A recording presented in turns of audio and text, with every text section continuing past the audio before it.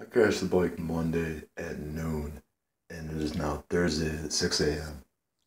The swelling and the black and blue is really fucking coming to life.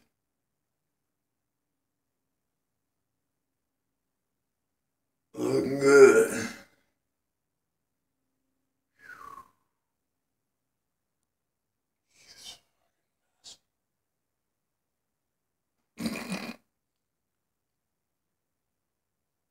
Let's get behind there.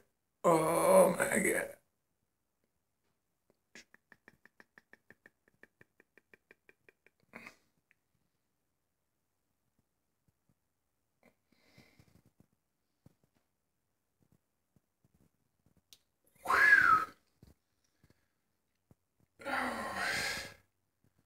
It don't look too bad though. Simpson on there. Ah, nothing.